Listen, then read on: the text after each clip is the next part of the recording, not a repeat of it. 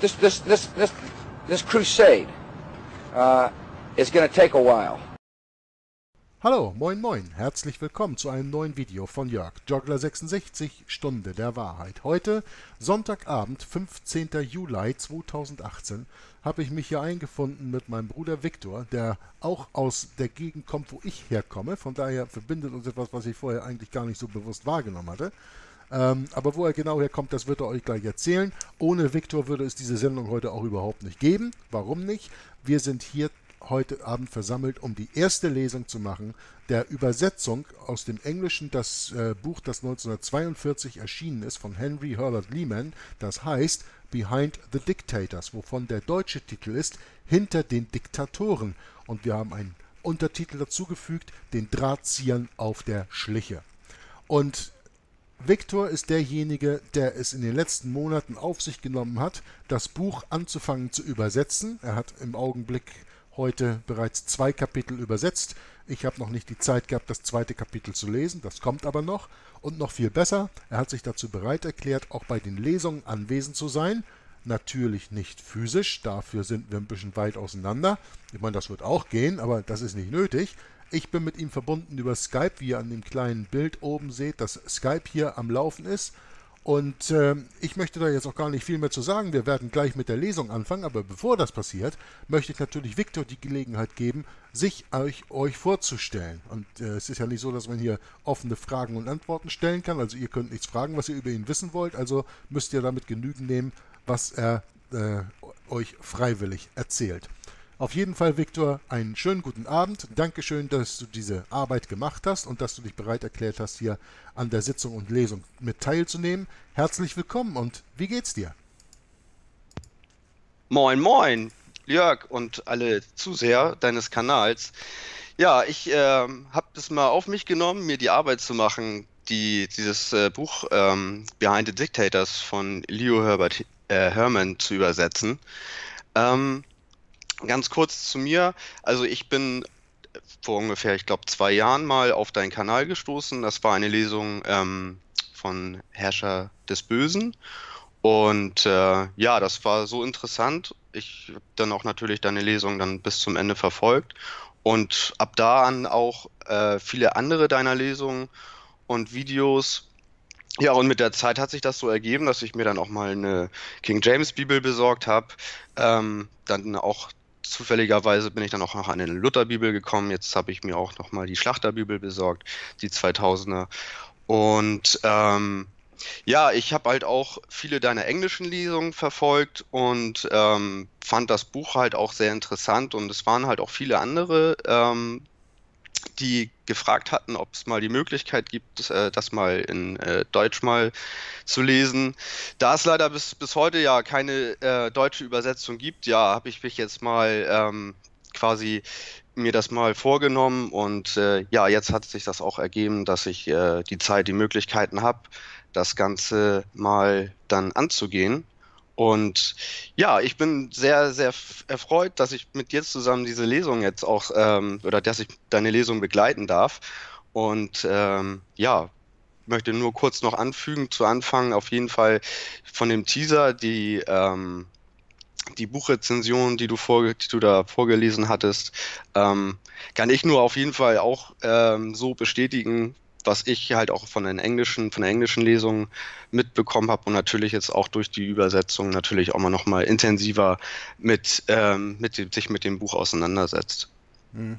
Das, ja. das Interessante bei diesem Buch ist ja auch, dass wir vielleicht unseren Zuschauern erzählen sollen, dass, äh, erzählen sollten, das weiß ja auch nicht jeder. Ähm, das Buch im Englischen als gedruckte Version habe ich im Internet nicht finden können. Ich habe es lediglich gefunden als PDF. Und eine deutsche Übersetzung davon hast du jetzt angefangen zu machen und die gibt es sonst auch nicht. Und das ist einer der wichtigen Punkte, weshalb vielleicht dieses Buch für viele Deutsche auch sehr wichtig ist zur eigenen Geschichtsaufarbeitung, zum eigenen Geschichtsverständnis, weil du, Viktor, weißt genauso wie ich, wie die meisten meiner Zuschauer, dass wenn wir in die Schule gehen und in den Geschichtsunterricht gehen, dass uns da nur auf Plattdeutsch Scheiße erzählt wird. Ja? Und ganz sicher über Dinge, die das sogenannte Dritte Reich betreffen. Da wird uns mehr vorgelogen als irgendwelche Wahrheiten erzählt. Und wer die wirklichen Drahtzieher der Kriege sind, das kommt im Grunde nie richtig zur Sprache. Und das ist etwas, was wir mit diesem Buch jetzt machen können. Und die Leute müssen sich von einem Fakt, deswegen möchte ich da eben nochmal kurz drauf drücken, bewusst sein. Leo Herbert Lehman, der von irischer Abstammung ist, hat das Buch 1942 veröffentlicht, also in der, in der Mitte des Zweiten Weltkriegs. Ne? Der ging ja sechs Jahre, von 39 bis 45. 1942 hat er das Buch veröffentlicht. 1950, acht Jahre später, ist er gestorben. Das Buch habe ich, als ich damals gesucht habe, ich habe jetzt die letzte Zeit nicht gesucht, im Internet zu kaufen als gedruckte Version, das normale Buch nicht gefunden. Ich habe nur das PDF gefunden und ähm, deswegen gehe ich davon aus, dass wir hier heute mehr oder weniger Geschichte schreiben Dadurch, dass wir den Menschen ein Buch zugänglich machen, das es im Englischen sowieso schon, wie gesagt, nicht zu kaufen gibt und das es in Deutsch überhaupt nicht gibt. Und deswegen nochmal von meiner Seite aus ganz herzlich der Dank an dich, Viktor, dass du das auf dich genommen hast, diese Übersetzung zu machen und auch gleich damit beigesagt an jeden, der jetzt irgendwelche Kritiken unter diesem Video schreibt. Der Viktor hat sich da hingesetzt und hat sich die Mühe gemacht, das zu übersetzen, aber er ist kein beeidigter Übersetzer. Er hat das nicht gelernt. Ja? Er macht das in seiner Freizeit und du kannst ja vielleicht selbst ein paar Worte darüber verlieren, wie du das genau machst oder mit welchem Computerprogramm oder was auch immer. Der Punkt ist nur, wenn da natürlich irgendwelche Fehler in dieser Übersetzung auftauchen oder wenn einige Sätze hier und da vielleicht mal nicht ganz so logisch klingen, weil das aus der Übersetzung her sich nicht anders ergeben hat oder zu schwierig war, das richtig zu übersetzen, dann bitte ich dafür jetzt schon mal um Verständnis und jeder, der da Kritik drauf gibt, den fordere ich hiermit auf, wenn er Kritik gibt, es selber besser zu machen. Ja? Man kann mich immer erreichen und mir solche Dinge zusenden. Aber es gibt sehr, sehr wenig Menschen, die sich überhaupt bereit dazu erklären, eine solche schwierige Arbeit auf sich zu nehmen. Möchtest du dazu eben noch etwas sagen, Viktor, bevor wir anfangen? Ja, gerne werde ich da noch mal kurz was zu erwähnen. Also bei mir ist das folgendermaßen, dass ich natürlich mit der Zeit ähm, ja, ich sag mal, seit der Schulzeit ähm, mich nochmal intensiver auch mit der englischen Sprache halt an sich auch nochmal auseinandergesetzt habe, dass es natürlich wahrscheinlich auch für mich etwas leichter ist, dadurch, dass ich ja das Verständnis auch äh, aus deinen englischen Buchlesungen natürlich und ähm, allgemein, dass es mir natürlich auch irgendwie leichter fällt, mich mit dem englischen Text äh, auseinanderzusetzen. Als Hilfsmittel benutze ich ähm, äh, den Google-Übersetzer und ich glaube, ich weiß jetzt gar nicht, das nennt sich, äh, das ist noch eine, eine, andere Übersetzungsseite und das parallel zusammen. Ähm, ja, das hilft mir an sich doch sehr gut. Und ich denke auch jetzt für einen Laien wie mich, der das, wie du schon erwähnt hattest, jetzt sage ich mal nicht professionell, auch nicht in keinster Weise gelernt hat, ähm, sind die Voraussetzungen, die Möglichkeiten, sag mal, die Werkzeuge wahrscheinlich heute besser als denn je. Also wenn ich mich jetzt, wenn ich mich vorstellen würde, wenn ich früher wie in der Schule mit einem English Dictionary, also keinem richtigen Übersetzungsbuch, also bei uns war das früher so wirklich, man hatte nur ein English Dictionary, also man konnte nur die Wörter, die Bedeutung im Englischen quasi ähm, rausfinden oder eine, eine, Synonyme oder was da halt ja, dann so drin stand. So eins habe ich hier auch. The Collins Paperback English Dictionary. Ja. Das habe ich hier in der Hand, ja. Genau, und, und ich meine, wenn ich mir vorstellen würde, damit zu arbeiten ausschließlich, dann ist das natürlich, ja, wahrscheinlich ähm, in, in jetzt in der Zeit, in der ich das jetzt mit den jetzt äh, jetzigen Mitteln ähm, übersetze, natürlich äh, würde das wesentlich länger dauern. Und ja, also da würde ich wahrscheinlich auch ähm, weniger Motivation haben, von vornherein das auch zu übersetzen, ne? weil das natürlich wesentlich ja. mehr Arbeit mit sich bringt. Aber trotzdem, es bringt so auch noch eine ganze Menge Arbeit mit sich. Ich meine nur alleine schon, dass du dir überhaupt die Mühe machst, dich hinsetzt und sagst, guck, ich habe das Video bei Jörg geguckt von der englischen Buchlesung und äh, ich bin dann mit ihm in Kontakt getreten, weil wir hatten ja, es ist ja heute Juli, wir hatten ja, glaube ich, vor über sechs Monaten oder sowas schon mal Kontakt über Skype, der dann nicht weiter verfolgt wurde. Auf einmal meldest du dich so aus dem Blauen heraus, also für mich zumindest. und sagst von, ja, ich habe dich dann und dann schon mal äh, angesprochen und wir hatten da und da drüber gesprochen und kommst mit der Übersetzung an. Also für mich ist das eine ganz tolle Überraschung, eine sehr positive Überraschung und ich will jetzt auch gar nicht groß viel weiter Zeit verlieren mit der Einleitung. Aber äh, ich möchte nochmal ganz herzlich sagen, Dankeschön, dass du dir diese Arbeit aufgehalst hast, um das mal auf diese Art und Weise deutlich zu machen. Und ähm, dass wir jetzt ohne weitere Verzögerung damit anfangen. Und wir haben heute für unsere Zuschauer das erste Kapitel vorbereitet.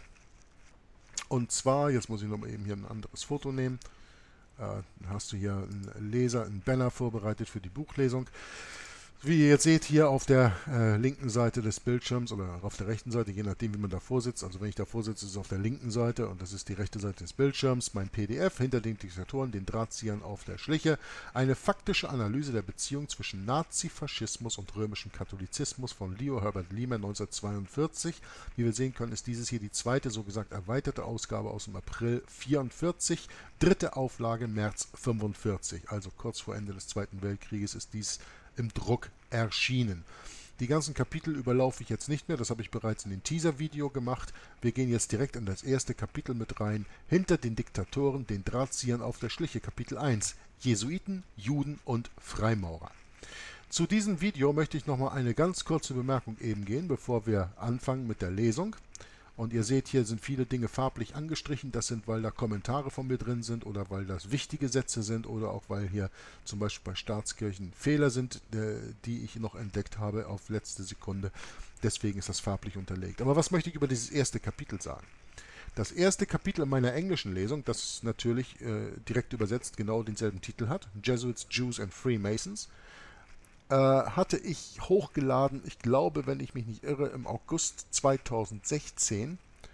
Und das hat auch die ganze Zeit da gelaufen, bis vor wenigen Monaten die YouTube-Gemeinschaft, die sogenannte YouTube-Community, da einen Strike drauf gegeben hat, aus mir unverständlichen Gründen. Das ist ja nun mal leider so, leider so, dass äh, das ist wie in der Inquisition, das werdet ihr ja noch lernen, wenn ihr meine neue Buchlesung verfolgen werdet von Henry Charles Lear, die, Inquisition, die Geschichte der Inquisition im Mittelalter man kannte damals bei der Inquisition auch nicht seinen Ankläger, man, musste, man wusste nicht, weswegen man angeklagt ist, man durfte sich nicht verteidigen, das konnte ich hier auch nicht.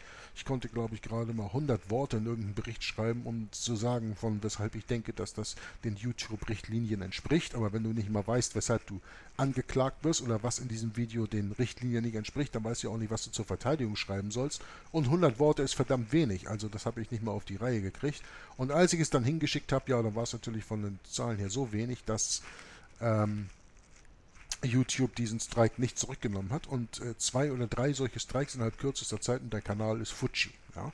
Also es gibt Leute, die finden, dass ein Video, das war zu dem Zeitpunkt knapp 16.000 Mal angeschaut, die dann meinen, das entspricht nicht den YouTube-Richtlinien und dieses Video, das erste Kapitel im Englischen, Jesuits, Jews and Freemasons, ist inzwischen geflaggt. Das heißt, wenn man auf die Spielliste geht und man klickt auf das Video, dann kriegt man erstmal eine Warnung, ob man noch wirklich durchgehen will, also weitergehen will zu dem Video, weil dieses Video wurde von der YouTube-Gemeinschaft als unanständig oder was auch immer kennmerkt. Warum, das steht da natürlich nicht bei, das wissen die ja selber nicht und dann klickt man drauf und dann kann man es immer noch gucken, aber man kann, kann, kann, keine Kommentare mehr geben, man kann keinen Daumen hoch oder Daumen runter geben.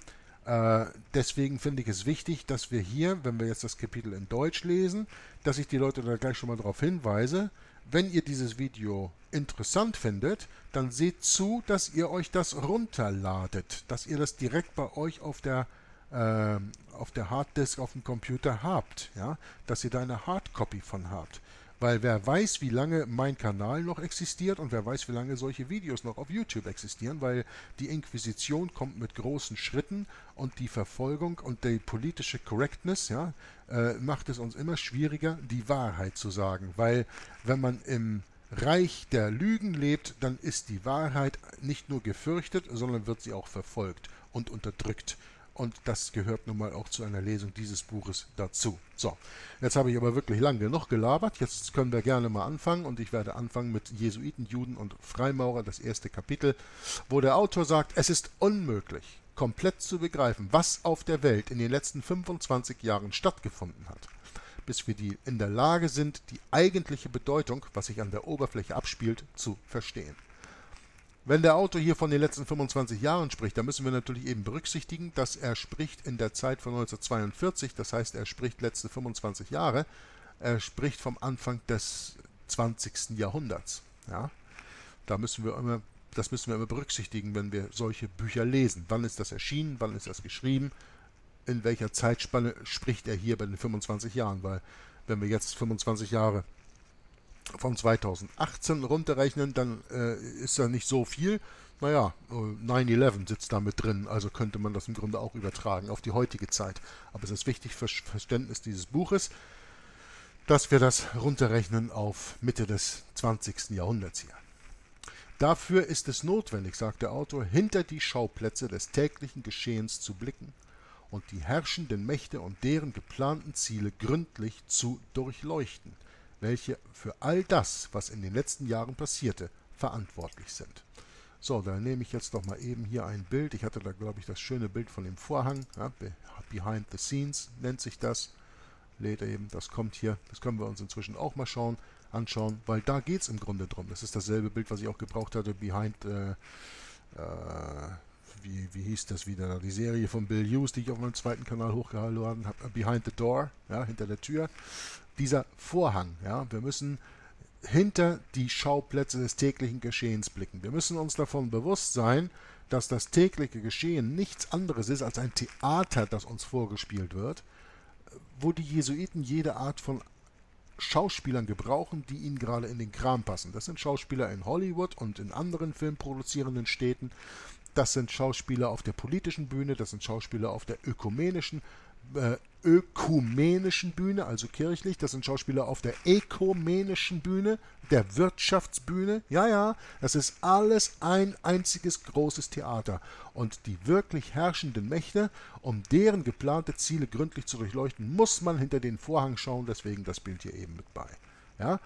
Äh, ich habe mir hier einen kleinen Kommentar gemacht, der, der heißt Marschall Foch, Waffenstillstand. Nun sind da wahrscheinlich viele unter euch, die haben meine Lesung verfolgt, ähm, Die verborgene Geschichte der Jesuiten von Edmond Paris. Ein Buch, das es glücklicherweise in Deutsch gab. Das wurde 1975, äh, glaube ich, oder so übersetzt. Oder da wurde es geschrieben und dann irgendwann in den 90ern übersetzt. Ähm, die kennen vielleicht das Zitat von Marschall Foch.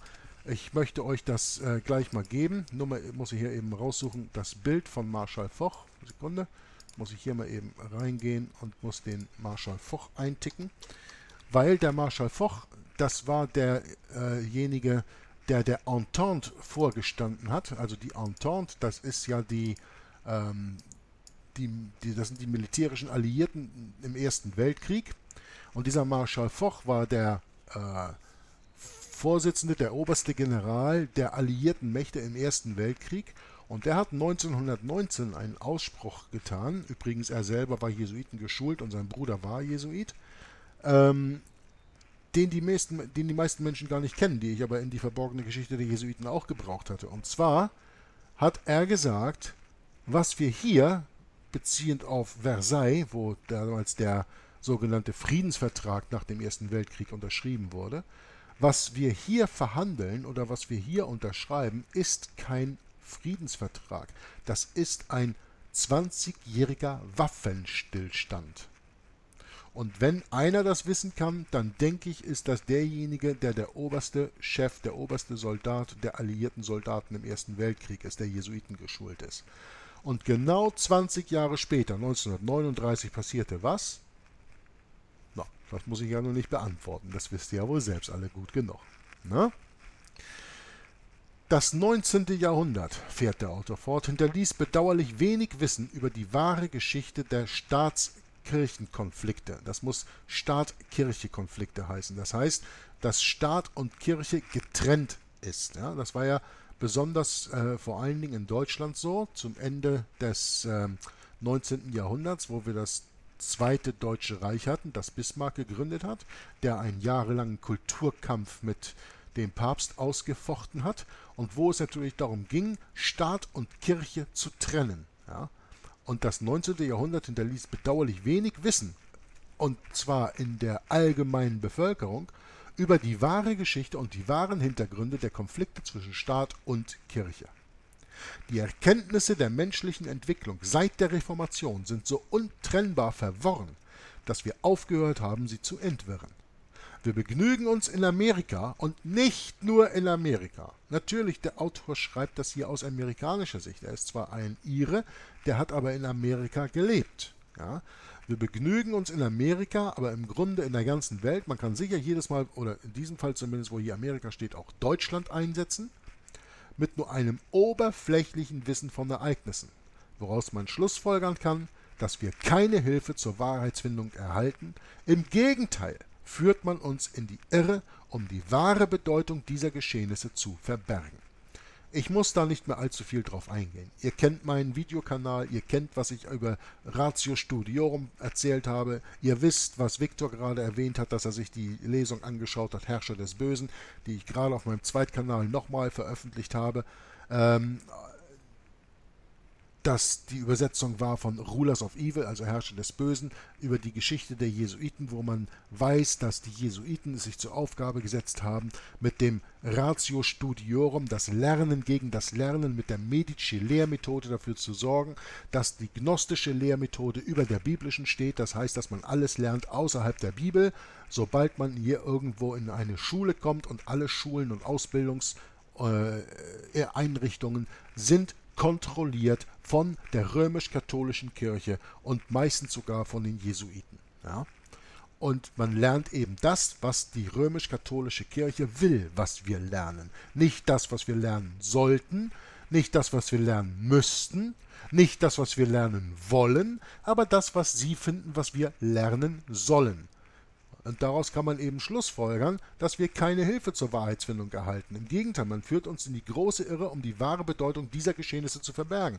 Schaut, in Herrscher des Bösen habe ich damals ein Zitat gebracht. Ich weiß nicht, ob ich das hier irgendwo reingebracht habe. Ist das hier nicht drin? Mal eben gucken. Ja, okay, hier kommt das. Dann muss ich das jetzt nicht sagen. Kommt gleich hier in Überschneiden, habe ich einen Kommentar gemacht. Dann werden wir da gleich drauf hinausgehen. Also, der Autor fährt fort. Eine zu große Gewichtung erhielt nur der ökonomische Aspekt hinsichtlich der Weltsituation. Ha. Das ist natürlich 1942 gut gesagt, der ökonomische Aspekt. Was war denn der ökonomische Aspekt äh, innerhalb der ersten äh, 20 Jahre des neuen Jahrhunderts in der Zeit, des 20. Jahrhunderts? Wir hatten die Gründung in den Vereinigten Staaten der Federal Reserve Bank ja, durch die Jesuiten, nachdem sie die Titanic versenkt hatten.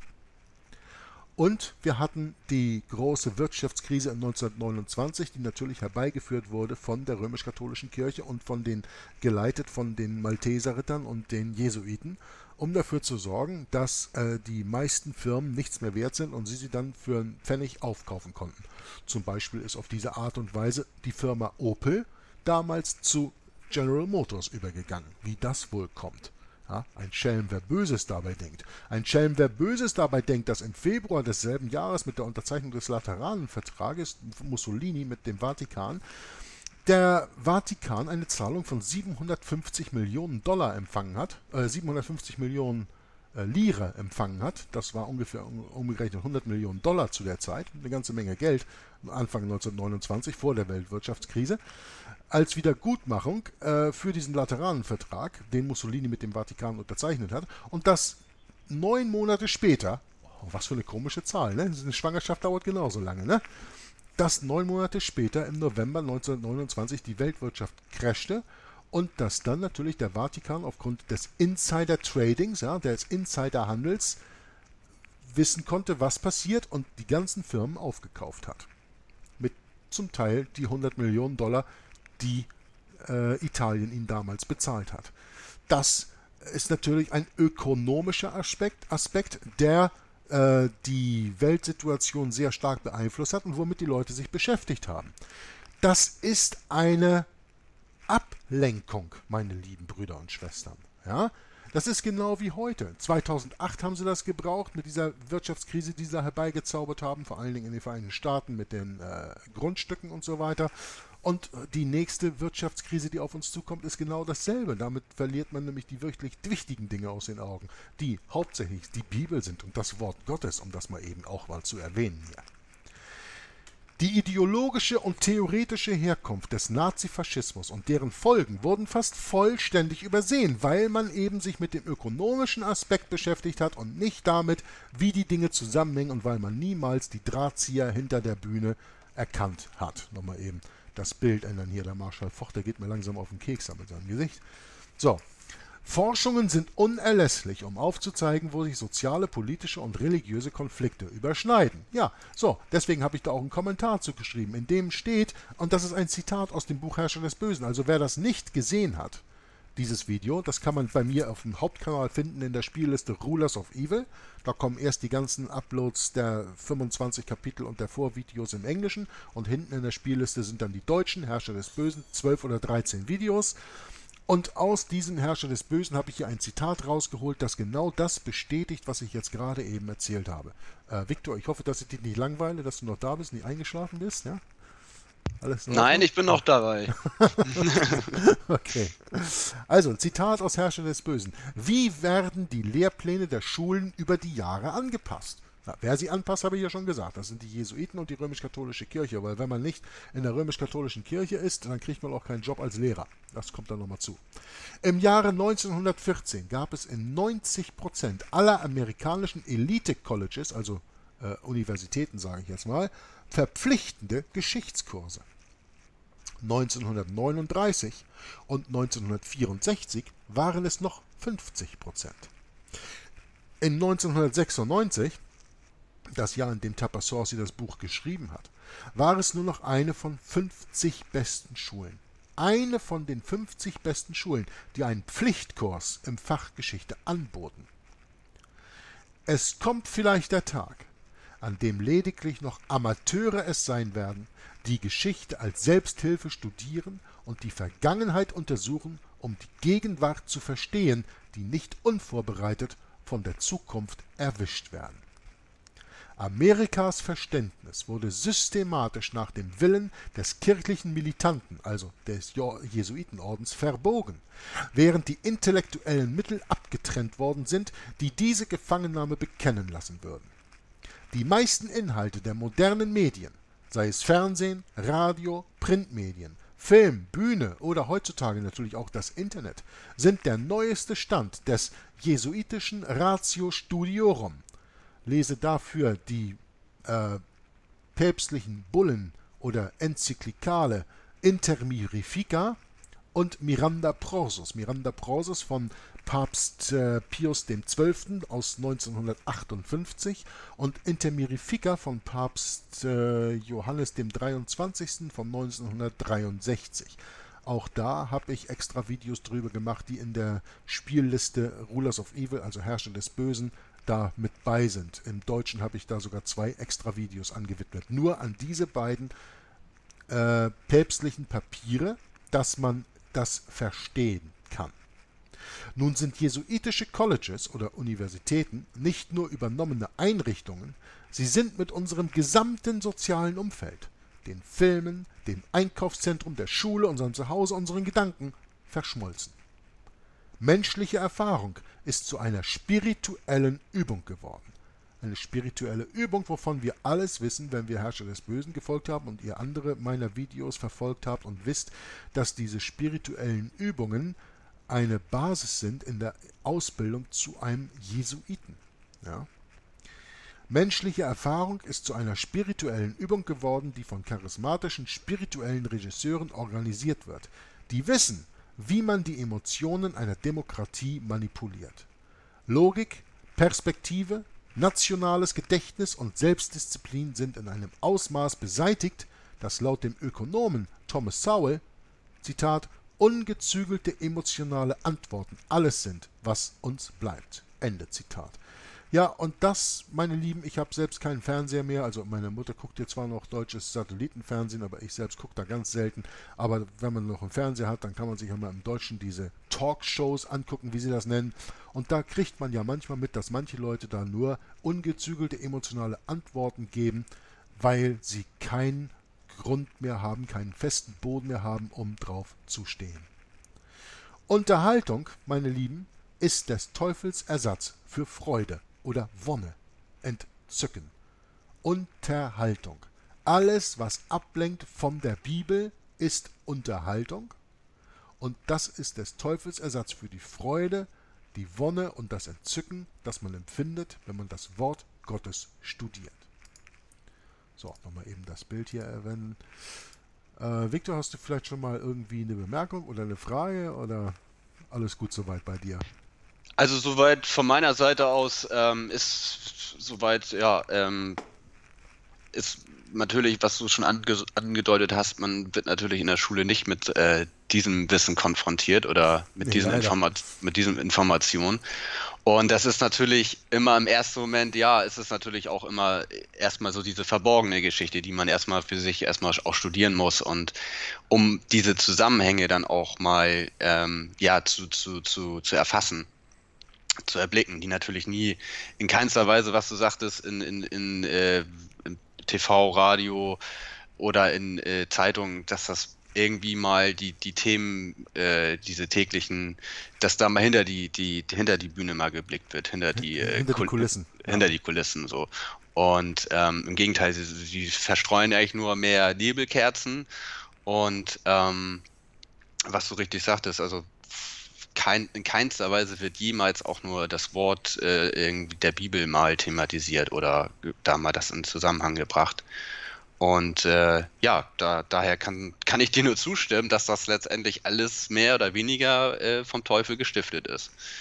Man kann natürlich sagen, mein so Internet, jetzt auch, sage ich mal, YouTube mit deinem Kanal, man kann das natürlich auch versuchen, in eine positive Richtung irgendwie auch äh, äh, umzudeuten, dass man sagt, nee, wir nutzen das hier, um die Wahrheit auszusprechen und das, was wirklich stattgefunden hat und die ähm, Drahtzieher dann auch in ja, in den, in den Spotlight, also in, ne, also aus dem In Schatten heraus, in das Scheinwerfer, genau, also dann auch die auch beleuchten. Jetzt muss ich dir noch helfen mit der englischen Übersetzung.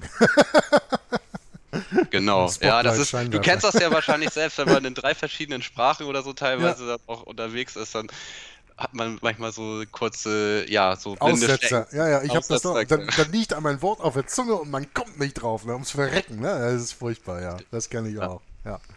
Nee, schön, okay. Äh, ich wusste mir, ich wusste natürlich schon, dass du da in der Hinsicht ein bisschen zustimmst, aber du hast ja auch die Serie, wie du sagst, Herrscher des Bösen gesehen. Ähm, das finde ich noch immer eine furchtbar, furchtbar wichtige Lesung, die ich damals da gemacht habe. Und äh, deswegen habe ich das auch letztens auf meinem Zweitkanal nochmal hochgeladen. Aber wie gesagt, jeder, der es nicht kennt, der sollte sich das sicher mal anschauen. Nun bin ich mal gespannt, ob wir heute überhaupt mit einer Stunde hier durchkommen. Wir sind schon ungefähr jetzt äh, 31 Minuten in der Sendung, also mal schauen. Wir haben ja noch ein paar Seiten zu lesen. Wir sind jetzt auf Seite 3 von 9. Aber ich will mich auch gar nicht besonders beeilen. Ich finde, diese Gelegenheit einmal zu bekommen, jetzt dieses Buch in Deutsch zu lesen, ist zu wichtig, als dass man da jetzt drüber fliegen sollte. Ich will mir wirklich die Zeit nehmen, auf die Dinge mit einzugehen. Und ich möchte auch gerne den Punkt aufgreifen, den du gerade nochmal angeführt hast, ähm, äh, Viktor, dass es ja äh, sehr wichtig ist, dass wir in dieser Welt uns mit allen möglichen Dingen beschäftigen sollen, außer mit der Bibel. Und wenn wir uns dann noch mit der Bibel beschäftigen, dann haben wir oftmals noch das Problem, dass wir gar nicht mal die richtige Bibel finden, weil eben seit Mitte des 19. Jahrhunderts die ganzen Bibeln textkritisch äh, überschrieben wurden. Mit dem Nestle Alarm Text, da hatte ich ja letztens diese, diese Sendung zu gemacht, ähm, die man auf meinem Kanal ja sehen kann in der Abspielliste, die Bibel korrekt oder korrupt, wo ich das Papier von dem Rudolf Ebertshäuser vorgelesen habe. Zehn Sendungen, die ganz deutlich aufzeigen, wo die Fehler in den korrupten Bibeln liegen und wo die korrekte Bibel ist. Unter anderem im Deutschen halt die Schlachter 2000, die auch nicht zu 100%, aber weil hier und da sind Dinge nicht korrekt übersetzt, wenn ich das mit dem Englischen vergleiche. Aber die Bibel ist die der King James und daher dem Textus Receptus und dem masoretischen Text im Alten Testament am nächsten kommt, am dichtesten kommt. Die kann ich also wirklich warm empfehlen. Aber es ist ja so, dass uns überhaupt die, äh, die Art und Weise, wie in dem System, in dem wir leben, in das wir hineingeboren werden und in das wir hinein indoktriniert werden dann, äh, uns gar nicht mal irgendwie die Möglichkeit gegeben wird, überhaupt mal außerhalb der Box zu denken, weißt du? Äh, Sobald du heute jemand bist, der anfängt, sich Fragen zu stellen über irgendetwas, dann, dann, bist, dann wirst du ja schon komisch angeguckt. Ja? Also ich habe zum Beispiel, um jetzt nur mal eben dieses blöde Beispiel zu nehmen, Sonne, Mond und Sterne, ich habe mich immer gefragt, wieso erzählen sie uns, dass die Sonne den Mond anstrahlt und dass der deswegen Licht gibt? Dann müsste ich doch die Sonnenstrahlen sehen, die auf den Mond prallen, weil er die sozusagen widerspiegelt. Und wieso kann ich teilweise Sonne und Mond gleichzeitig am Himmel sehen? Und wieso kann ich durch den Mond mehr oder weniger durchgucken und sehe ich da sogar Sterne hinter?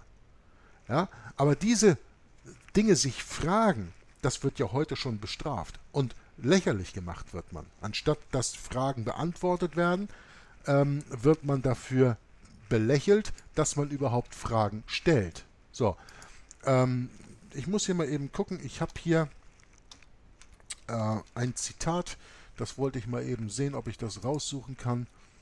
Ja, hier ist es schon ziemlich schnell gefunden. Ich hätte lieber Fragen, die nicht zu beantworten sind, als Antworten, die ich nicht in Frage stellen kann. Und das ist doch vielleicht auch ein Satz, der gerade bei vielen Deutschen runtergeht wie Öl.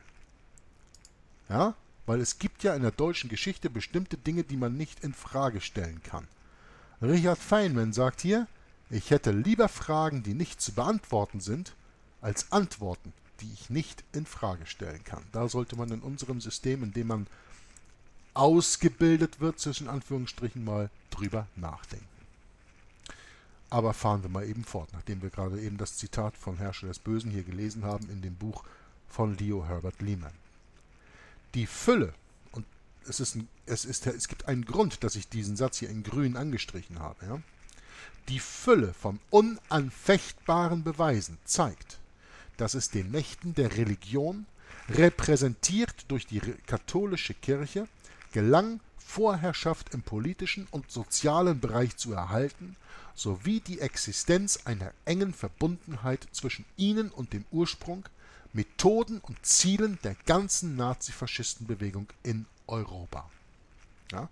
Also es gibt eine Fülle von unanfechtbaren Beweisen, dass die Mächte der Religion, die römisch-katholische Kirche, diese Vorherrschaft im politischen und sozialen Bereich erhalten hat und die Exist äh, und, und ähm, die verschiedenen Dinge miteinander verbindet. Dafür gibt es unanfechtbare Beweise und unter anderem hatten wir die gesehen in dem Buch Verborgene Geschichte der Jesuiten von Edmond Paris und unter anderem werden wir die lernen in diesem Buch hier. Ich finde das einen sehr wichtigen Satz, auch wenn er deutsch grammatikalisch nicht 100% korrekt ist. Aber wie gesagt, da hatte ich ja vorher am Anfang des Videos darauf hingewiesen, das kann mal passieren.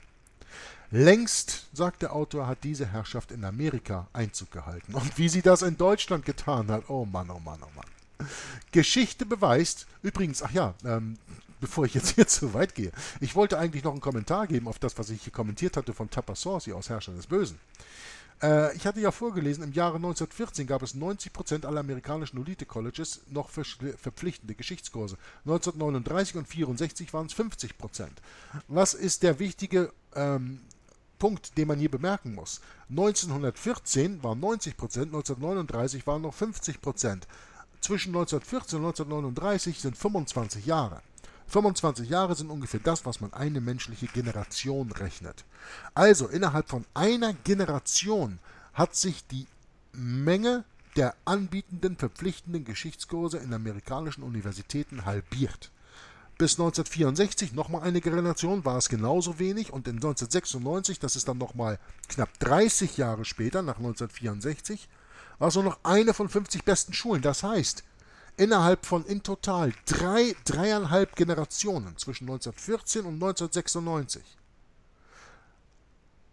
gab es anstatt von 90 amerikanischen Elite-Hochschulen, wo es verpflichtende Geschichtskurse gab, 90 Prozent aller amerikanischen Elite-Hochschulen verpflichteten Geschichtskurse, 1996 nur noch eine von 50 Schulen.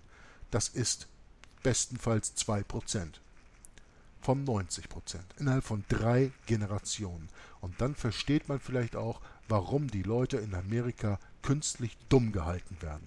Und das leider nicht nur in Amerika, sondern auf der ganzen Welt und ganz sicher eben auch in Deutschland. Ganz sicher, was die Geschichte des 20. Jahrhunderts und die Geschichte des Zweiten Weltkriegs angeht.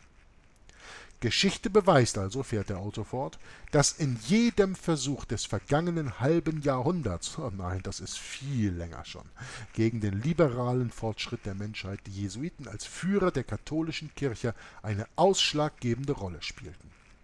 Wir können sogar so weit gehen, dass der Nazifaschismus seinen Ursprung von der Gesellschaft Jesu hat, wie andere Bewegungen in der Vergangenheit entsprechend zum Faschismus heute, wurde dieser Faschismus kreiert, um den herkömmlichen Zielen der Jünger von Ignatius von Loyola zu dienen. Dazu gibt es ein Zitat, das einige von euch schon kennen und einige kennen es noch nicht. Das ist im Original natürlich in Englisch, es wurde hier ins Deutsche übersetzt und es lautet aus Civilta Catholica, das ist das Hausorgan des Jesuitenordens aus Rom, Zitat, Faschismus ist die Herrschaftsform, die am meisten mit der Ideologie der Kirche von Rom korrespondiert. Und ich habe in der verborgenen Geschichte der Jesuiten von Edmond Paris, da habe ich auch einen anderen erwähnt, nämlich ähm, oh, jetzt wollte ich gerade mal sehen, welches Bild wollte ich denn hier suchen? Äh, warte mal eben. Ah, Junges, Junges, Junges. Ja, manchmal vergisst man sowas eben. Ähm, Faschismus ist die Herrschaftsform, die am meisten korrespondiert. Ah ja, von Papen. Papen. Kennt ihr den? Franz von Papen. Damals der ähm, Mann hinter Hitler, der im Dunkeln eben agiert hat. Hier gibt es ein Bild von ihm, schön mit dem äh, Malteserkreuz hier auf der Kreuz auf der Seite. Äh, Franz von Papen war Malteserritter. Franz von Papen wurde im äh, damals im Kriegstribunal von Nürnberg äh, ein paar Jahre nur hinter Gitter gesteckt und als er dann rauskam, war er Geheimkämmerer des Papstes. Und dieser Franz von Papen hat eine Aussage gemacht, die ich jetzt aus dem Gedächtnis nicht hundertprozentig hinkriege, aber sie lautet ungefähr, dass das äh, Nazireich in Deutschland zwischen 33 und 45 das einzige bis dahin existente Reich war, die einzige bis dahin existierende Regierung war, die die Prinzipien der römisch-katholischen Kirche voll und ganz umgesetzt hat.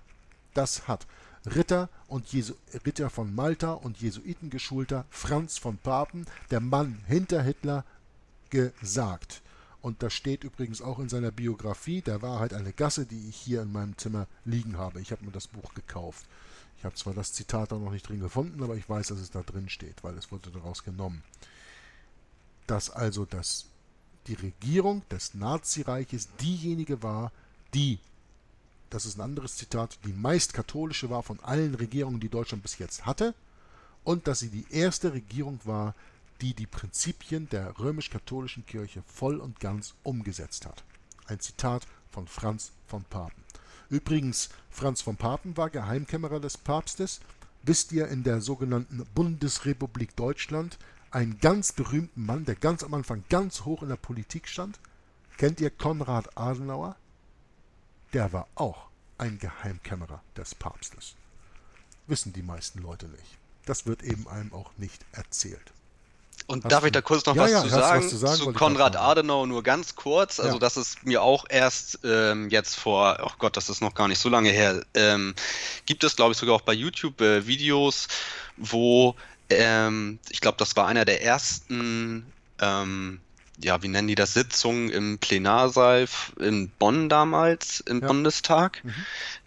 Die haben, da hat er, glaube ich, einen Kommentar gebracht von wegen, nach dem, also sinngemäß, ähm, wir müssten jetzt das, dieses unsägliche Leid dieser Entnazifizierung jetzt auch stoppen und ähm, daraufhin sind ja auch viele ähm, alte Altnazis und was ich nicht, NSDAP, Parteimitglieder wieder auch in ranghohen ähm, Behördenstellen äh, wieder eingesetzt worden. Ja, einer der berühmtesten war ja wohl unser späterer Bundespräsident Kiesinger, ne? Ja, also das ist ja auf jeden Fall das, das Paradebeispiel auch dafür. Mhm. Und ähm, nee, das zeigt auch nur, dass, sage ich mal, nach der Zeit, nach diesem äh, na, so, Nationalsozialismus, nach Beendigung des Krieges im Grunde sich, äh, ja, äh, ist dieses Nürnberg 2 oder, oder Nürnberg, was das war, dass das nur eine Art Schauprozess war. Das Kriegstribunal, ja. Das Kriegstribunal, Genau, und ähm, du hast ja auch noch, du liest ja auch gerade noch ähm, zum Beispiel Odessa, die wahre ja, Geschichte. Die wahre Geschichte von Ukikoni, ja. Und das dann, glaube ich, auch nochmal aufzeigt, glaube ich, wenn wir dann, wenn du an den Punkt gekommen sind, wo du dann die Lesung man äh, dann auch sehen kann, äh, wie nach dem Krieg auch noch immer äh, die, ja, die Drahtzieher, wie man die quasi aus mit den diesen Redlines, also Rattenlinien, wie man mhm. die aus Europa quasi rausgeschleust hat. Ne? Und zwar nicht nur nach Südamerika, Argentinien und hauptsächlich äh, Argentinien hauptsächlich und Chili, sondern eben auch nach Nordamerika in die Vereinigten Staaten. Äh, Reinhard Gehlen, der damals der Chef der Abwehr war, also der äh, Konterspionage mit Russland, äh, Brigadegeneral oder was in der Richtung, der ist dann ja rübergegangen und hat zusammen mit äh, äh, Wild Bill Donovan aus der OSS die CIA äh, aufgerichtet. Auch so einer. Und interessant für die Leute, die sich in der Geschichte noch nicht so gut auskennen und ein interessantes YouTube-Video mal zum Googlen und zum Anschauen äh, von der IG Farben zur EU von Dr. Rath heißt der, glaube ich. Äh, super interessantes Video, um sich anzuschauen. Dauert, glaube ich, eine knappe Dreiviertelstunde. Äh, was man darin lernt, ist sehr, sehr interessant, ja. Gut, war es das soweit, was du dazu beitragen wolltest, eben, Victor? Ja, nee, das war nur ganz kurz noch angefügt zu Konrad Ah, ja. Adenauer, weil das natürlich schön, auch schön. ähm, interessant auch dann auch wiederum ist, wenn man sich jetzt, sage ich mal, nach dieser Nachkriegszeit sich dann beschäftigt, wer die jetzt, sage ich mal, hinter den, ja, in Anführungsstrichen Demokraten, wer dahinter dann steckt oder welche, ähm, ich sag mal, welche, auf welcher Grundlage oder ähm, welche, welche Geschichte die eigentlich jetzt in diese neue Bundesrepublik Deutschland mit reinbringen Mhm. ähm, dass das natürlich auch äh, mir nur zeigt, dass damals die Menschen nach dem Krieg auch total gar nicht ähm, begriffen haben, äh, wer letztendlich überhaupt hinter all dem gesteckt hat und das äh, verursacht und, und ausgelöst hat. Weil sonst hätte man ja sicherlich schon erkan erkennen müssen, dass, sage ich mal, wenn sich da so eine, ja, so ein, so ein Parteienapparat bildet und der diese Parteien überall gespickt sind mit Altnazis und oder Leuten aus der NSDAP und dergleichen, ähm, dass das natürlich dann dieser Geist, den die quasi in sich getragen haben, die ganze Zeit dann natürlich auch wieder mitnehmen in quasi das Sag, Neue. Sprich doch, sprich doch mal Tacheles. Die Leute, die vor dem Dritten Reich an der Macht waren und die im Dritten Reich an der Macht waren, waren auch nach dem Dritten Reich an der Macht. Da läuft es doch drauf hinaus. Richtig, Wir genau. haben die Zentrumpartei, die äh, später nach dem Zweiten Weltkrieg als CDU wieder äh, in, an die Macht gekommen ist, die damals den Steigbügel für Adolf Hitler gegeben hat. Ja? Äh, diese Zentrumpartei, übrigens sehr interessant, um mal zu lernen, und wer da die Anfänge von lernen will, dem kann ich nur empfehlen. Ich habe hier ein Buch, ich habe das eben gerade mal äh, aufgemacht, das lese ich gerade im Augenblick. Äh, 500 Seiten, ist ja eine kleine Sache, kann man ja mal zwischendurch mal lesen. Bismarck und das päpstliche Rom, genetische Darstellung anhand der Quellen. Sehr interessant, um mal, von 1911 übrigens, um mal zu sehen, ähm, wie die politische Struktur aussah zur Zeit vor und zur Zeit des Zweiten Deutschen Reiches, gegründet durch Bismarck 1871. Und es steht hier von Paul Majunke, ein römischer Priester und Redakteur der Zeitschrift Germania, ein Zitat vorne an, das möchte ich mal eben vorlesen. Das heißt, römisch oder deutsch? Tatsächlich wird der Kulturkampf, also der Kampf, den damals Bismarck mit dem Papst ähm, gefochten hat, Leo der 13., Tatsächlich wird der Kulturkampf niemals zu Ende gehen, wie er streng genommen auch niemals einen Anfang genommen hat. Denn die Kirche, wir sprechen hier von der römisch-katholischen Kirche, war stets und wird stets sein eine streitende, und zwar in allen Ländern der Welt. Nur der Modus des Kampfes wechselt in größerer oder geringerer Heftigkeit. Der Kampf selbst bleibt der stetige. Ja? Das ist ein sehr interessantes Buch. Kann man gratis im Internet bekommen. Kann ich nur jedem empfehlen, sich das runterzuladen. Ich habe ja die ersten 60 Seiten oder sowas habe ich davon schon bereits gelesen. Einleiten, das haben wir, wie gesagt, 504 Seiten. Kann man ja mal so zwischendurch lesen. Haha. Ja, das war ein Witz. Das ist nämlich eine ganz schöne Mammutaufgabe. Aber das ist interessant, um da die Hintergründe zu erkennen. Und da sieht man, wie im 19. Jahrhundert die Zentrumspartei bereits errichtet wurde, wer damit bei war, und es kommen immer dieselben Gesichter wieder. Und diese Zentrumpartei hat dann die Steigbügel gehalten, um Hitler an die Macht zu bringen in den 30er Jahren. Hitler hat das Ganze dann ein wenig forciert, lass uns mal sagen, war noch ein bisschen extremer, unter der Leitung der Jesuiten. Er hat ja mehr oder weniger einen Gottesstaat in Deutschland errichtet, auch haben das die meisten Leute bis heute noch nicht begriffen. Aber natürlich unter dem Gott in Rom und nicht dem Gott der Bibel. Ja, und da war der Zweite Weltkrieg vorbei und guck mal da, Bundesrepublik Deutschland, wer stellt den ersten Bundeskanzler? Die katholisch-demokratische Union. Oder heißt das christlich-demokratische Union. Naja, wir wissen ja, dass die Katholiken das Wort christlich missbrauchen und dass Katholiken nicht christlich sind. Ja? Aber diese CDU hat erstmal von Anfang 1949, der Gründung der Bundesrepublik Deutschland, oder was 1948, weiß ich gar nicht mehr, ähm, den ersten Bundeskanzler gestellt bis zum Tode, ja? der Ader, äh, Adenauer.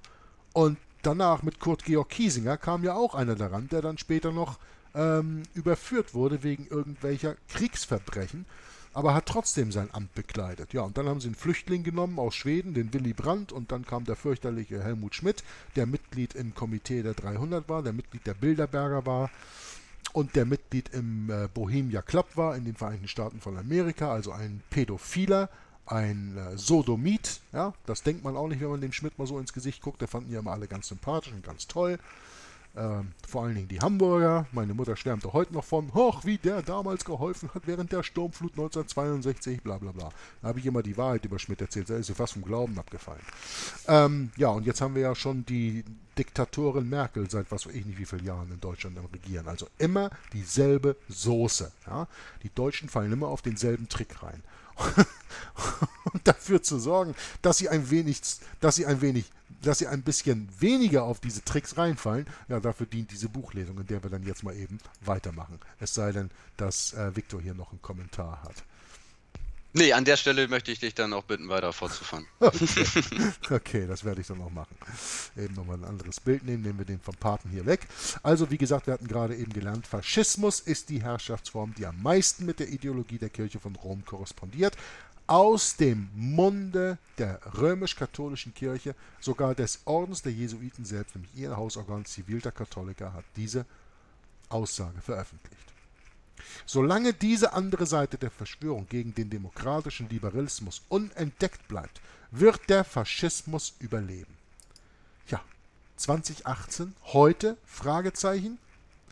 George W. Bush, der Präsident der Vereinigten Staaten von Amerika zwischen 2000 und 2008, sagte einmal, dass viele Diktaturen sich hinter der Maske der Demokratie verstecken. Die Wahrheit ist genau umgekehrt. Viele Demokratien sind verkappte Diktaturen. Oder gibt es vielleicht die Möglichkeit, das ganze korrupte Parteiensystem aus der BRD oder anderen Staaten rauszuwerfen? Hm? Die Verteidiger der demokratischen Ideologie werden nicht siegen, erst wenn sie offen ihren wahren Feind anprangern, die Ritter des Schwarzen Kreuzzugs, Sociedad Jesus, die Gesellschaft Jesu. Die Jesuiten waren einst unwiderruflich ausgewiesen worden von den europäischen Nationen, sogar von der römisch-katholischen Kirche selbst durch Antichrist Papst Clemens XIV. in 1773. Denkt an meine Buchlesung von Herrscher des Bösen auf meinem Kanal, wo wir erfahren haben, dass diese Verbannung des Jesuitenordens die ganze Zeit von ihrem General, damals Lorenzo Ricci, geplant wurde, um den Orden zu säkularisieren. Das wurde doch hauptsächlich inszeniert, um die Völker in Sicherheit zu wiegen. Keine Jesuiten mehr, der Papst nicht mehr an der Macht, 1798, alles ist gut, keine Gefahr mehr, Friede, Freude, Eierkuchen. Damit wurde auch Gottes Prophezeiung der tödlichen Wunde in Offenbarung 13 erfüllt. Der Jesuitenmilitärorden des Vatikan als Teil des Kopfes, das eine tödliche Wunde, eine tödlich anmutende Wunde erfährt. Zumindest ist dies eine Möglichkeit unter anderem, um diese biblische Prophezeiung zu erklären. Es gibt verschiedene Möglichkeiten, um Offenbarung 13 und die angeblich tödliche Wunde des Biestes dort zu erklären und die, das Verbot des Jesuitenordens auf der einen Seite und die Festnahme des Papstes durch General Berthier 1798 auf der anderen Seite und eben auch der Abzug der beschützenden französischen Truppen aus dem Vatikan in 1866 auf der dritten Seite sind alles Möglichkeiten, um diese Wunde zu erklären. Nun, die Jesuiten wurden also verboten, weltweit verboten. Sie wurden sogar verboten mit einer Bulle. Da habe ich ja auch in äh, dem Buch von Griesinger auf meinem Zweitkanal viel drüber gesprochen, dass manche Leute behaupten, es war nur eine Breve, also ein Brief, es war keine Bulle. Andere sagten, es war eine Bulle. Äh, normalerweise, wenn man selbst in der römischen Enzyklopädie nachschaut, dann ist die Regimini Militantis Ecclesia eine päpstliche Bulle und eine Bulle wird na, sie direkt nach der Veröffentlichung römisch-katholisches Recht, ja, Und das römisch-katholische Recht ist semper eadem, unweisig, unweisigend, kann man nicht mehr verändern, steht nach dem Motto geschrieben in Stein, aber trotzdem hat Papst Pius VII. 1814 die Jesuiten wieder zugelassen, 41 Jahre nach ihrem Verbot 1773. Das ist eine andere Geschichte, nur der Punkt ist, da kann man mal sehen, wie äh, heuchlerisch die römisch-katholische Kirche ist, nach dem Motto eine Bulle, das kann man nicht mehr wegnehmen und kein Papst kann das verändern. Ja, äh, Clement XIV. schrieb es in 1773 und Pius VII hat in 1814 da drauf gepinkelt und gesagt, interessiert mich nicht, was der sagt, ich lasse die Jesuiten wieder zu. Und dann äh, der wunderbare Antichrist Papst Leo XIII. hat es ja noch schlimmer gemacht. Der hat alle ihre Rechte, die ihnen jemals abgesprochen wurden, den Jesuiten in den 1890er Jahren auch wiedergegeben. Das ist noch eine andere Geschichte. Wie gesagt, man kommt hier vom einen ins andere. Und die Jesuiten fanden während der Zeit ihrer Verbannung nur Zuflucht während ihrer 40-jährigen Verbannung bei der pietätlosen Katharina von Russland und auch in Preußen unter Friedrich II. Ja, das wird unter anderem erwähnt in dem Buch Bismarck und das päpstliche Rom. Ja, genau, das Buch, das ich euch hier gezeigt habe. Dieses hier. Da wird auch das erwähnt. Ja, ich sage, interessant, das mal zu studieren, dieses Buch. Okay. Geschworen, und übrigens ja noch äh, eine kleine Anmerkung dabei, weil das, das erste Kapitel hier heißt ja Jesuiten, Juden und Freimaurer. Preußen war damals unter freimaurerischer, äh, unter freimaurerischer Regierung mehr oder weniger. Friedrich II. war ein Freimaurer und an der Spitze der Freimaurerei steht der schwarze Papst. Also äh, Russland, das immer ein Feind der römisch-katholischen Kirche war, hat komischerweise die den Militärorden der römisch-katholischen Kirche unterstützt, in der Form von Katharina. Und Preußen in der Form von Friedrich II. hat auch die Jesuiten damals gewähren lassen und hat sie mehr oder weniger versteckt. Und ansonsten haben sie weiter agiert, wie ihr aus der Lesung von Die verborgene Geschichte der Jesuiten wisst, unter dem Namen der Illuminati, die 1776 von Weishaupt in der damaligen äh, Universität von Ingolstadt gegründet wurden. Das war eine Frontorganisation, um die offiziell verbotenen Jesuiten weiter agieren zu lassen. Geschworen, dem Papst in allen Angelegenheiten zu gehorchen und zu verteidigen, war es schwierig für sie, selbst als Jesuiten einen Weg aus dem Dilemma zu finden, Schützlinge einer Monarchin zu sein, die dem Papst eine lange Nase macht, um sie vor seinem Zorn zu schützen. Warum macht die Monarchin dem Papst eine lange Nase? Weil sie als äh, Zarin von Russland die Beschützerin der russisch-orthodoxen Kirche ist. Und die russisch-orthodoxe Kirche ist eine katholische Kirche der östlichen Kirche. Und die östliche katholische Kirche befindet sich in einem Schisma seit 1054 mit der westlichen katholischen Kirche. Und die Regierung von Russland damals, ob es eine Zarin oder ein Zar war, spielt keine Rolle, ist immer das Oberhaupt der Kirche und bietet dieser Kirche Schutz. Die Jesuiten, die sich geschworen haben, nicht nur den Protestantismus zu vernichten, sondern auch dafür zu sorgen, dass alle Kirchen wieder unter die Fittiche von Rom zurückkehren, finden dann ausgerechnet bei einer Monarchin Unterschutz, die das Haupt ist der zweitgrößten katholischen Kirche weltweit, nämlich der russisch-orthodoxen. Ja, das ist ein Oxymoron oder ein Widerspruch an sich, wie man sagen kann. Und trotzdem ist es geschichtlich so passiert. Um das zu überbieten, haben die Jesuiten höflich und diplomatisch gegen den Ungehorsam Katharinas dem Papst gegenüber protestiert. Während sie, die, da, während sie dabei die Anforderungen ihres Schwurs erfüllten, mein Sohn, darum wurde dir gelehrt, als Heuchler zu agieren, Genau das trifft den Punkt, denn der Zweck heiligt die Mittel. Mein Sohn, darum wurde dir gelehrt, als Heuchler zu agieren, ist direkt genommen aus dem Eid der Jesuiten. Da habe ich ja, äh, weiß ich nicht, zwei oder drei Videos auf meinem Kanal drüber gemacht. Das könnt ihr euch ja gerne mal anschauen, über den Schwur der Jesuiten. Während sie dabei also die Anforderungen ihres Schwurs erfüllten, machten sie mit einem reinen Gewissen weiter, um die Gastfreundlichkeit der Monarchen anzunehmen. Die Wahrheit in dieser Sache ist, dass die Jesuiten nicht einen Papst als solchen ihrem Gehorsam schwören, sondern vielmehr das Amt des Papstes schützen. Also nicht die Figur des Papstes, sondern nur das Amt. Der biblische, historische und prophetische Antichrist. Die Jesuiten sind die Soldaten der Hölle, wie bereits hier vorher erwähnt, die schwarzen Ritter des Kreuzzugs, die nicht dem Papst im Grunde Gehorsam schwören, sondern dem Amt des Papstes. Kleiner, aber wichtiger Unterschied. Durch diese jesuitische Unterscheidung nehmen sie sich die Freiheit, jedem Papst sich zu widersetzen, der ihre Gebote nicht befolgt. Noch würden sie sich beschweren, falls solche ein Papst zufällig beschleunigt ableben, falls solch ein Papst zufällig beschleunigt ableben würde. Wie viele Päpste die Jesuiten in der Zeit seit ihrer Existenz ermordet haben, sind zu viele, um hier, auf, sind zu viele, um hier aufzuzählen. Ja? Kann ich jetzt echt nicht machen. Im Übrigen erscheint ein Buch von P.D. Stewart, hoffentlich irgendwann, das ist schon seit zwei Jahren angekündigt. Ähm, das heißt äh, Pope Francis, Lord of the World, also Papst Franziskus, Herr der Welt, von dem Autoren der Codeword Babylon die zwei Teile gemacht hat. Und darin kommt ein Zitat vor von einem Jesuitengeneral, der sagte, ähm, da wird ein Kreis gezeichnet und in der Mitte dieses Kreises steht der Papst und der weiß ganz genau, wenn er sich außerhalb dieses Kreises bewegt, ist er ein toter Mann. Ich mache das jetzt mal ganz kurz. Das könnt ihr selbst nachlesen, wenn ihr auf die Seite geht von LuxVerbi, L-U-X-V-E-R-B-I.org ist es, glaube ich, oder .com, luxverbi.com.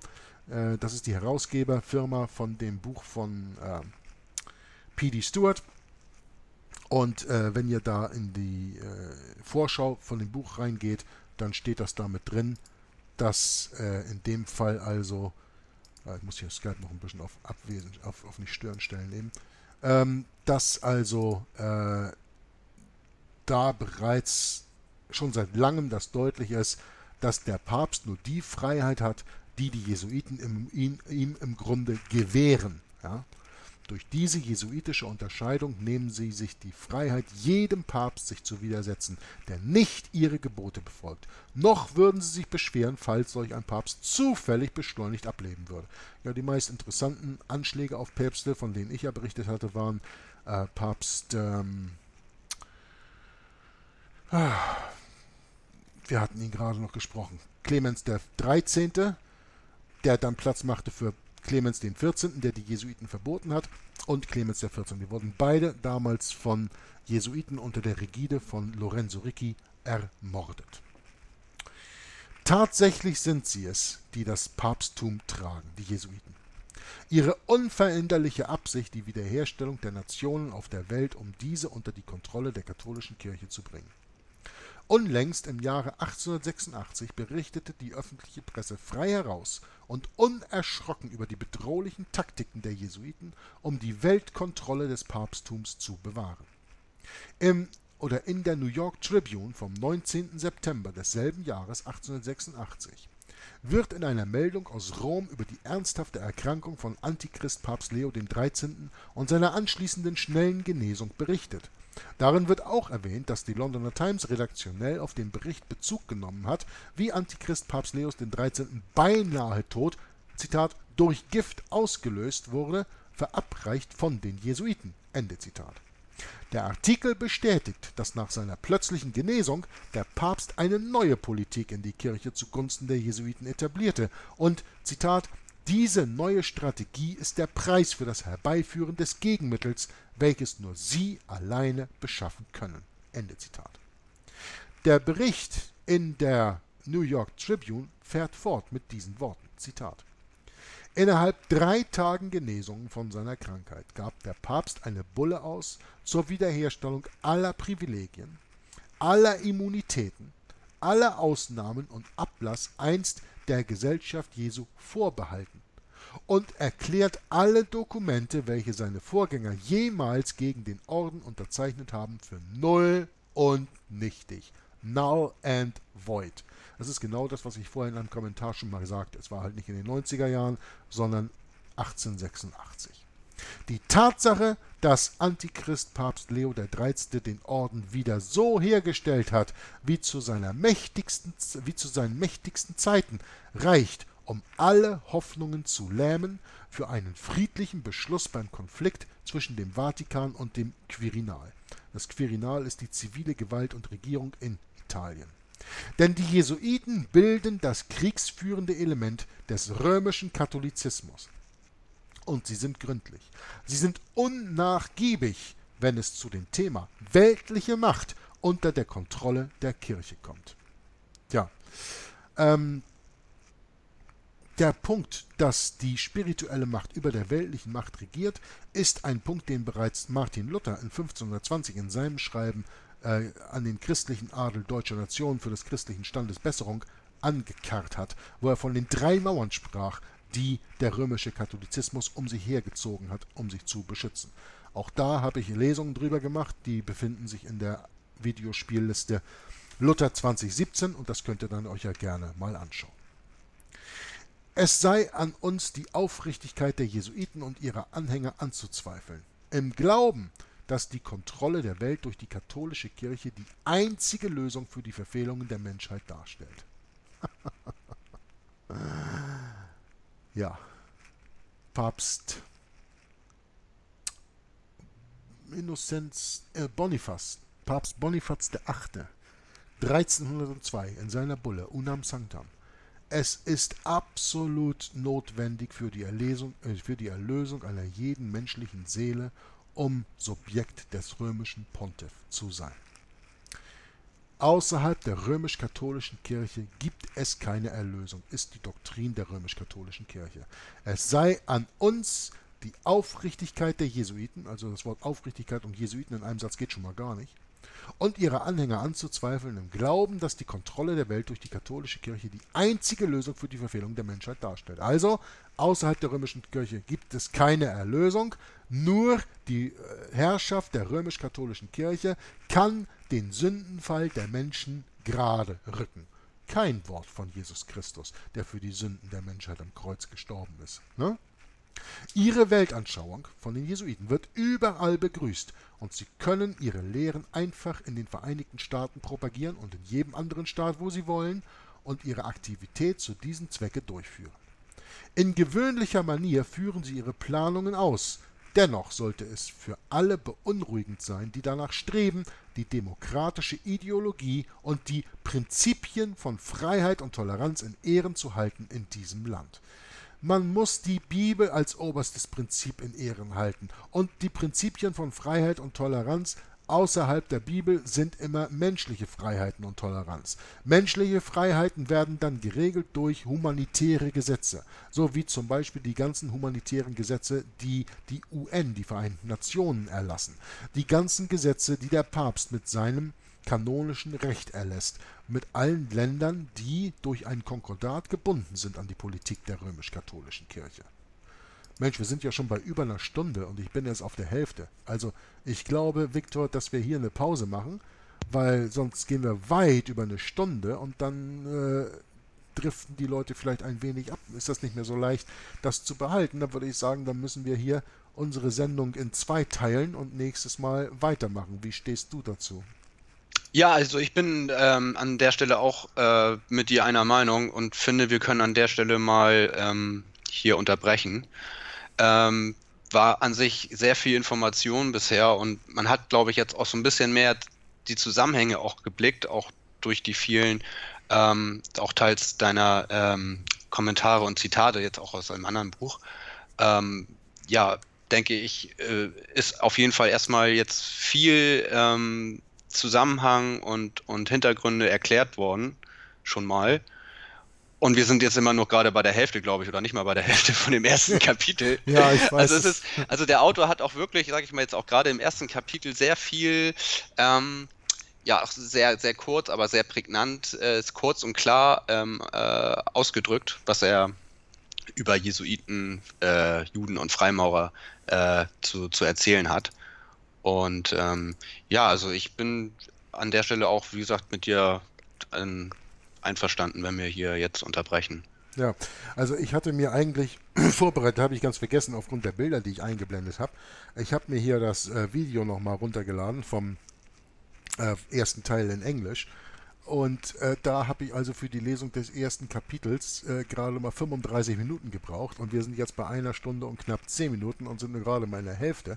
Da könnt ihr mal sehen, was für einen Unterschied das macht, ob man das einem englischen Publikum vorliest oder ob man das einem so dermaßen betrogenen deutschen Publikum vorliest. Ja? Für mich persönlich ist das ganz, ganz wichtig und ich nehme mir auch gerne die Zeit und es müssen, es sind zwar zwölf Kapitel und ich habe das im Englischen geschafft, das in zwölf Sendungen zu machen, aber es können für mich durchaus 50 Sendungen werden. Das ist mir wurscht, wenn es nur dazu beiträgt und hilft, den Leuten zu verstehen, mit welcher Welt wir uns beschäftigen müssen, welche Rolle die römisch-katholische Kirche hinter der Bühne für diese Welt spielt, welche Rolle die ähm, welche Rolle die Gesellschaft Jesu darin spielt, die Jesuiten damit bei, weil nur wenn wir das wirklich verstehen, dann verstehen wir auch die Bibel auf die richtige Art und Weise, die uns all diese Dinge ja im Grunde schon vorher erzählt hat. Nur das Problem ist, die Bibel ist ein sehr spirituelles Buch und nicht jeder, der die Bibel festnimmt, hat auch den richtigen Geist und versteht die Bibel richtig. Und oftmals ist der säkulare Ansatz, also der Ansatz, um über eine solche Studie und solche Bücher zur Bibel zu kommen, mehr bei einigen Leuten fruchtbarer, als wenn ich das eine oder andere Bibelzitat einfach so mal loslasse, womit viele Leute gar nichts anfangen können. Also nur mal eben äh, zu sagen, es kommt mir wirklich nicht drauf an, wie viele Sendungen wir brauchen, um dieses Buch rauszubringen. Ich freue mich unglaublich, dass Victor sich bereit erklärt hat, dieser Sendung heute beizuwohnen und dass er mit mir das auf sich genommen hat, das Buch zu lesen. Äh, ich freue mich im Grunde, dass wir es noch nicht mal geschafft haben, innerhalb von einer Stunde das ganze erste Kapitel niederzureißen, was ich damals im Englischen, wie gesagt, in 35 Minuten geschafft habe, weil das zeigt ja auch, dass es so viel Nachholbedarf gibt auf der deutschen Seite, den Deutschen Geschichte zu lehren, die sie sonst nirgendwo anders bekommen können. Von daher hoffe ich auch, dass diese Videos nicht nur dazu beitragen, dass sie ordentlich geschaut werden auf meinem Kanal, sondern dass vor allen Dingen jeder, der sich diese Videos anschaut, auch diese Videos weiter verbreitet. Schaut, meine Arbeit ist ohne Urheberrecht. Das Buch ist ohne Urheberrecht in dem Sinne, dass wir es in Deutsch hier vorlesen. Da gibt es kein Urheberrecht vor, weil Victor nimmt da kein Urheberrecht drauf. Und wir werden auch die äh, einzelnen Kapitel später, ich habe einen Account auf äh, archive.org, da werde ich sie veröffentlichen und den Link werde ich in die Beschreibungsbox des Videos mit reinmachen. Jeder kann die einzelnen Kapitel dort selber lesen. Jeder kann die Videos anschauen, die Videos runterladen auf Facebook, auf äh, BitChute, auf YouTube, auf DTube, auf Vimeo, auf jeder anderen Videoplattform die Videos wieder hochladen, das PDF verteilen, soweit es geht, unter Freunden, Bekannten, Kollegen, Familie, um dafür zu sorgen, dass die Menschen eine Chance haben, vorbereitet in die Zukunft zu gehen, dass, wenn man weiß, die Geschichte wiederholt sich, dass man die Geschichte auch kennt, die sich wiederholt. Weil wenn ich die wiederholende, sich wiederholende Geschichte nicht kenne, ja, dann erkenne ich auch nicht die Wiederholung davon, die mir vor der Tür steht. Ja? Von daher, jetzt eine knappe Stunde und zehn Minuten, schätze ich mal, werde ich hiermit aufhören. Werden wir nächstes Mal fortfahren in dem äh, PDF äh, mit dem Titel Die Jesuiten, äh, Juden und Freimaurer, das erste Kapitel des Buches Hinter den Diktatoren, ähm, den Drahtziehern auf der Schliche. Und ich möchte noch eben zum Abschluss Viktor das letzte Wort geben und dann mache ich selbst noch einen kleinen Abschluss. Victor, hast du noch einen letzten Satz, um dieses Video heute zu beenden? Also an der Stelle noch vielleicht ganz kurz deinem letzten Satz nur noch anfügend oder ähm, ergänzend ist es natürlich auf jeden Fall für alle, denke ich, wichtig, dass wir die, die wahre Geschichte kennen und hinzu dadurch auch, ich denke, auch wichtig ist, dass wir uns zumindest mal mit diesem Weg, der aufgezeigt wird in der Bibel, zumindest mal auseinandergesetzt haben und kennen. Ob wir ihn dann bestreiten wollen, wie auch immer, das ist jedem Einzelnen dann überlassen. Aber ich finde, dass es wichtig ist, auch für jeden, ähm, sich dann auch mal mit der Bibel zu beschäftigen an der Stelle, der es noch nicht getan hat. Und an der Stelle dann noch ähm, möchte ich mich nochmal bedanken, Jörg, für deine Einladung zu dieser wunderbaren Lesung. Und ich ja, freue mich aufs nächste Mal. Wünsche allen einen schönen Abend und sag an der Stelle Tschüss. Bis zum nächsten Mal. Ja, danke, Viktor.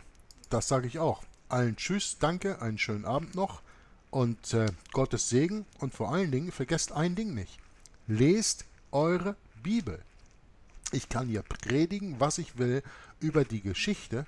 Alles steht in der Bibel bereits vorher geschrieben. Das Buch von Daniel erklärt uns ganz deutlich, dass ab dem Augenblick von der jüdischen Gefangenschaft in Babylon 500 Jahre vor Christus Zeitrechnung, dass es noch vier Königreiche auf dieser Erde geben wird. Vier heidnische Königreiche, Babylon, Medo-Persien, Griechenland und Rom, bevor der Stein nicht ausgehauen von Menschenhand kommt und diese Figur aus dem Traum in Daniel Kapitel 2 in den Füßen vernichtet. Dieser Stein nicht ausgehauen von Menschenhand ist Jesus Christus, der die Metallfigur in tausende Splitter kaputt machen wird und dieser Staub der Figur wird dann vom Winde verweht und dieser Stein wird ein Fels, der die ganze Welt umfasst, das ewige Königreich unseres Herrn Jesus Christus, das niemals vergeht. Das ist uns gelehrt worden in der Bibel, das römische Reich ist in 476 oder wann immer nicht untergegangen. Es hat sich nur verändert vom heidnischen römischen Reich in das päpstliche römische Reich, mit dem wir heute konfrontiert sind und was wir versuchen werden, vor allen Dingen durch Sicht der politischen Bühne aus dem Buch von Leo Herbert Lehman aus 1942 hinter den Diktatoren, den Drahtziehern auf der Schliche, euch dichter beizubringen und das Verständnis zu bringen. Einen schönen Abend noch, Gottes Segen und bis zum nächsten Mal. Maranatha.